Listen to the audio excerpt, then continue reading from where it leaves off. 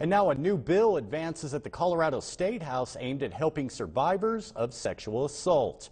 If passed and signed into law, this bill would get rid of the statute of limitations for civil lawsuits regarding sexual assault cases.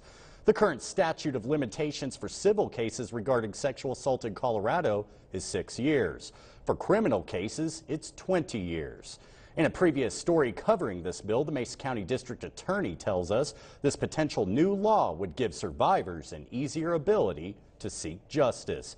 He says this is because sometimes it's difficult to amount enough evidence to bring about criminal charges in sexual assault cases.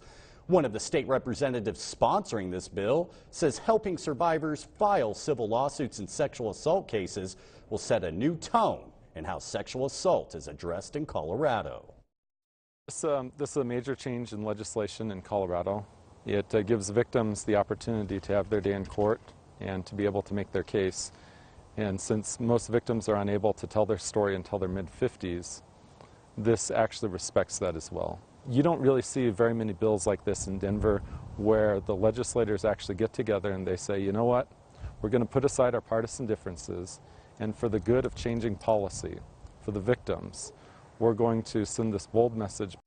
We'll keep following how this bill progresses in the state legislature, and it's headed to the House floor for a second reading this upcoming week.